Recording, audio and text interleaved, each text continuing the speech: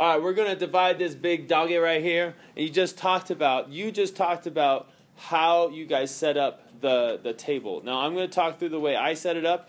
It's, I'm going to stay consistent uh, with the way I do it, but you could do it differently. It doesn't have to be exactly the way I set it up. So I just draw a random big box first. Oops. Um, and then the next thing I do is I look at the top polynomial, the, the one in the numerator, and the bottom polynomial, the one in the denominator. And the, that would also be called the dividend.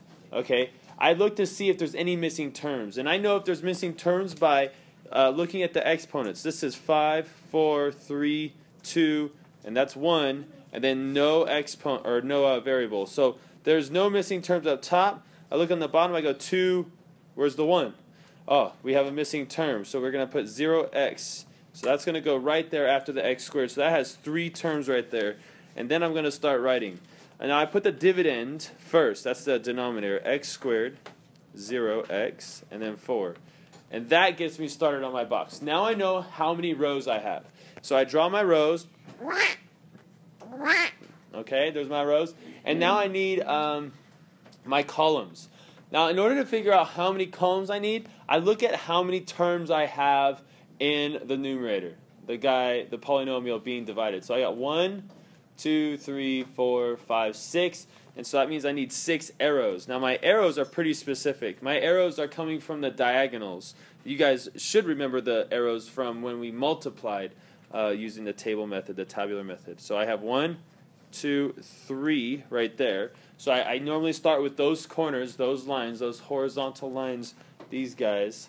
I draw an arrow at the end of every one of those. And now I have three more to do because we have six. So I'm going to divide this up here, put one, two, three. And then from each of those arrows, I then draw my columns. Okay, so now the business starts. Let's. Oh, I got to write down that top uh, polynomial. So I have 3x to the fifth, negative 2x to the fourth. Man, this is a lot of writing. 6x to the third. That's okay, though. If we do it right, we only have to write it once. Negative 4x squared, negative 24x, and then tw- 16. All right, so there's actually two boxes that you can fill in right away, these two right here. But I normally only start with the far left one. I like to start right here and use that last box as like a checkpoint.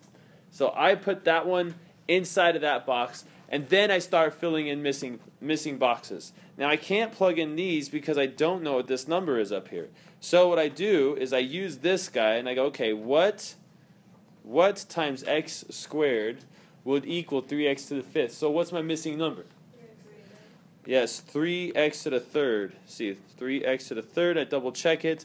Uh, see, 3 times 1 would be 3, and then x to the third times x squared would be x to the fifth, because 3 plus 2 is 5. All right, so we're good with that. Now I can fill in these guys. So um, 3x to the third times 0x is going to be 0, x to the fourth. Um, this part doesn't really matter, but I like writing it because you can see the like terms when we're finished.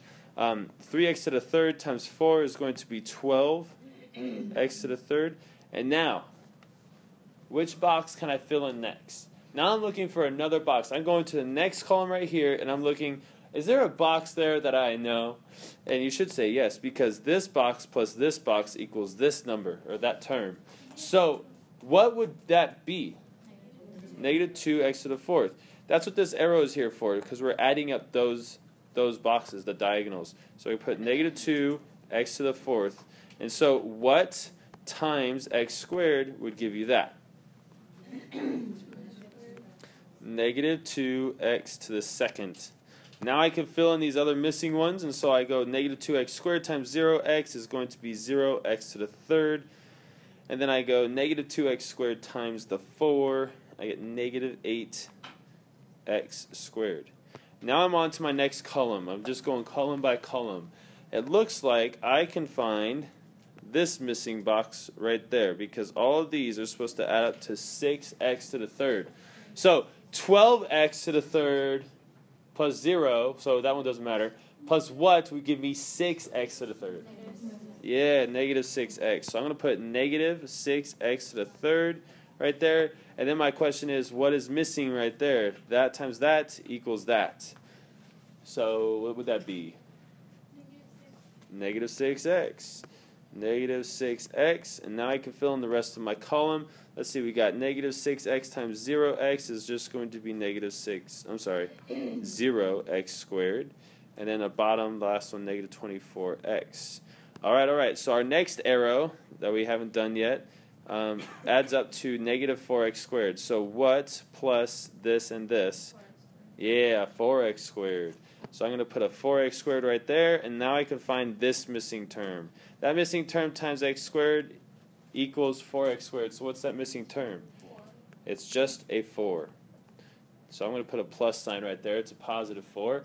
So now I go 4 times 0x is 0x. 4 times 4 is 16.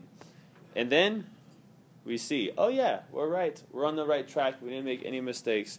So that means this up here is my answer.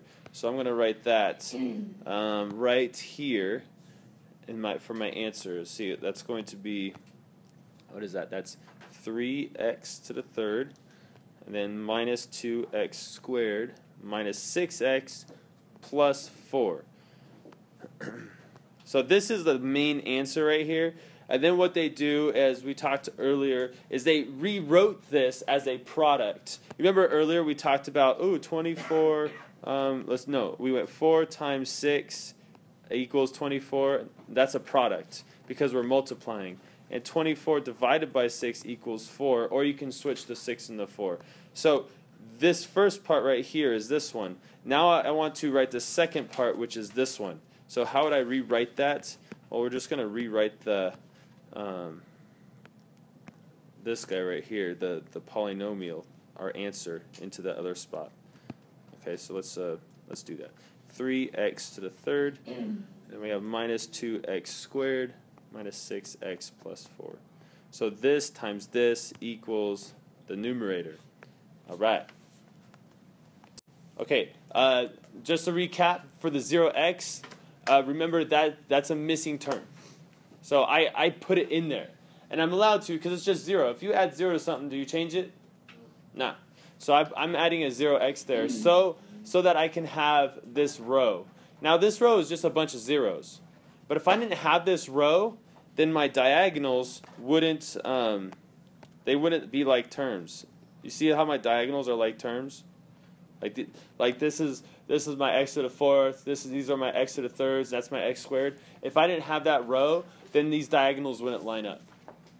So that, it begs the question: Do I have to put zero x? No, you don't. Just have to make sure that you add the like terms and not terms that are not like. Okay. All right.